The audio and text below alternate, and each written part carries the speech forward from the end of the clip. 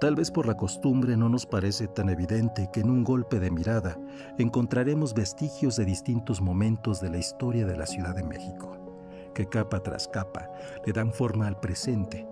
Es un colorido palincesto, es un microcosmos que devela miles de ángulos de existencia sin tiempo.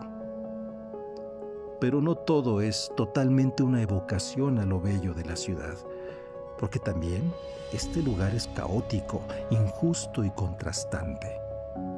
¿Cuál es el alma de una ciudad antigua que se construyó entre el agua de los lagos y el fuego de los volcanes?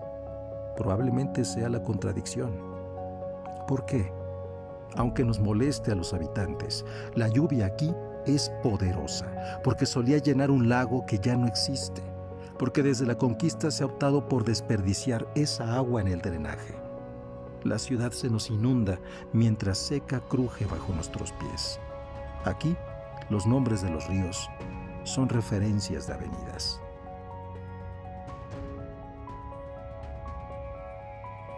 En esa contradicción, el centro histórico poco a poco ha quedado deshabitado y es ahora algo más cercano a un diorama comercial que el espacio de referencia y representativo para algunos mexicanos.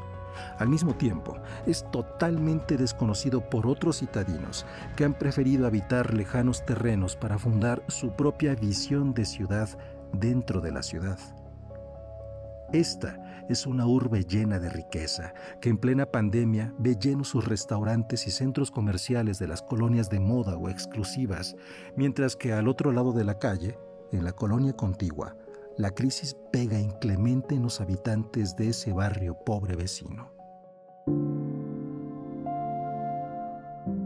La ciudad pareciera un ente con vida propia porque regenera constantemente su tejido herido, sobre el cual le crecen como parásitos un anuncio estridente y estrambótico, una casa en perpetua construcción que se completará en futuros tiempos mejores un desarrollo inmobiliario tan nuevo como espantoso que al terminarse ya tiene fecha de caducidad. Como tumores, le crecen obras públicas que destacan más por grandotas que por grandiosas. La ciudad nunca está terminada.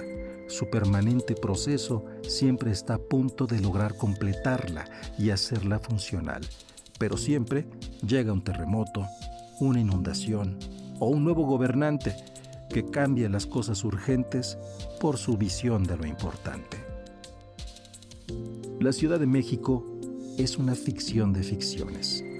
Es la ciudad que nos contamos a nosotros mismos con nuestro círculo afectivo, pero para otras personas, incluso con los mismos lugares de referencia, tienen otras ficciones de ciudad.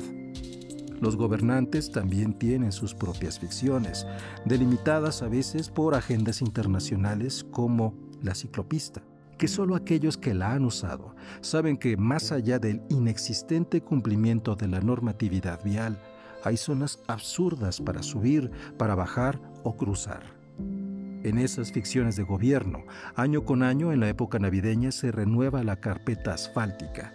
Cuando la obra finaliza, los siguientes meses parcialmente es destruida para cambiar el drenaje, el cableado de luz, meter fibra óptica o tuberías de gas. Así que lo nuevo siempre queda con un bordo, un parche, un bache. La Ciudad de México es una de las más hermosas y vibrantes para la cultura en el mundo. Antes de la pandemia, cualquier cosa era posible que ocurriera aquí.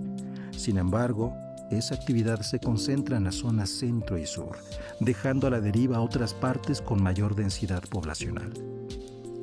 La contradicción de la ciudad es como la de un amante que muerde porque quiere besar, que con veleidades nos vuela la cabeza para después hacernos pagar el precio, como la locura de Apolo provocada por las ninfas.